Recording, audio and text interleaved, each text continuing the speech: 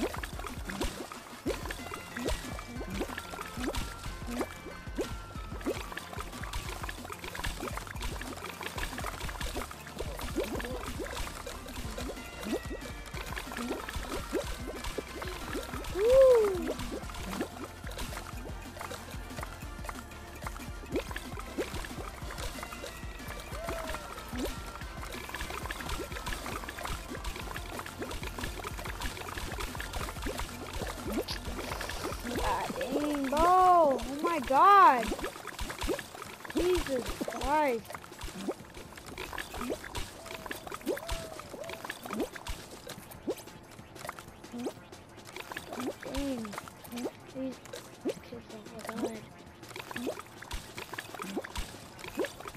Hold up, let me just cut off. Oh.